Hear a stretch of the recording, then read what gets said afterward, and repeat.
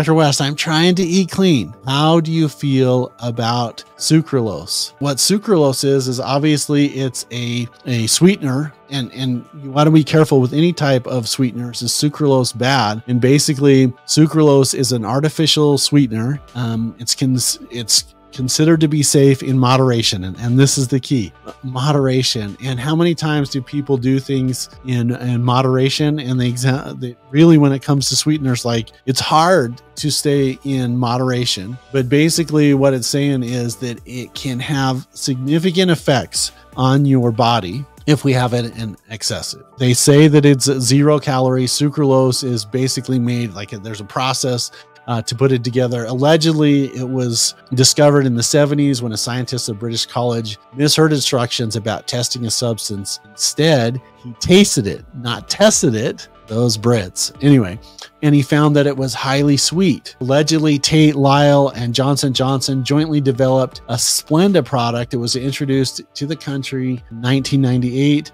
and has been one of the most popular sweeteners in history. And basically, they're using it to substitute for cooking and baking. They say it's calorie free, which oh, it's going to help you to you know your metabolism, stuff like that. Uh, I don't think so. No, I d- they may be calorie free, but by it has effect. Now, here's what happens: is their marketing or packaging is saying sucralose has no effects on blood sugar and insulin levels. There was a, a small study that said it had no impact on sugar metabolism or insulin sensitivity. And what happened to the industry? Oh my gosh! Hey, we have something going to be really helpful and useful in the case of you know, blood sugar regulation and diabetes. Now, here's some things to be concerned about by the way, the takeaway is caution, red light, red light, caution, caution. Not necessarily like I'm not saying never use it. I just like other sweeteners better at high temperature. So when you cook with uh, sucralose, uh, aka Splenda, it can start to break down. There was a 20 2010 study, 2010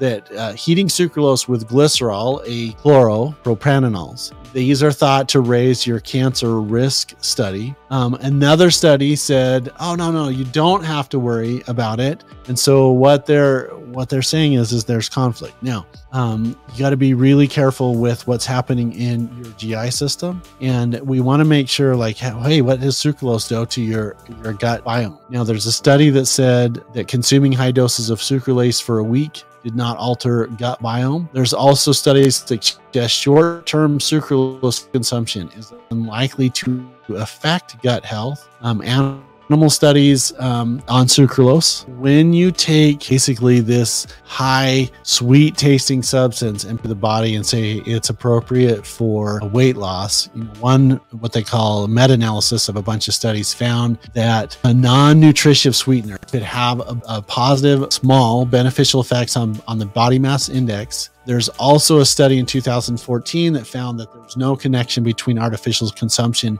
and body weight or fat mass. Uh, meanwhile, there's other studies, or and, and there's a lot of empirical evidence like people are coming in and saying look this is what happens when i'm on sucralose that i have significant uh, concerns with and and basically like if we have really high dose uh, amino acids which is one of the components of these artificial sweetener pathways if we have it at high concentrations, the body perceives it as sweet. And they're like, yeah, but there's no sugar in it, like there's no calories. Um, what I found is over time, I think it's really hard on the, the body and system. I don't see anybody that, that uses high doses of artificial sweeteners instead of quote normal sweeteners. And we're going to talk about that in just a minute that, that do uh, very well. Like I just think that you're kicking the can down the road and your prices to be paid later. Know, let's talk about sweeteners for a minute. Like I'm all for using stuff to sweeten food, but I like you doing it with you know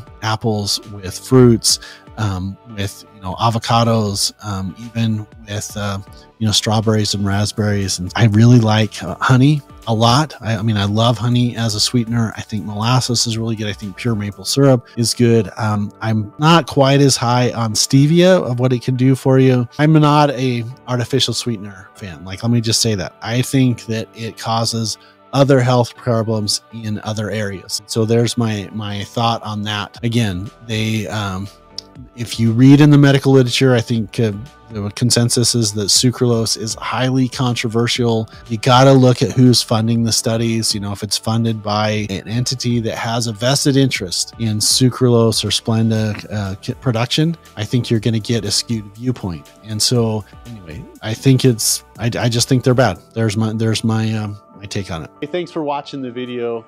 If you'd like more information, education, or want to work with us, head over to bestmedicaloptions.com.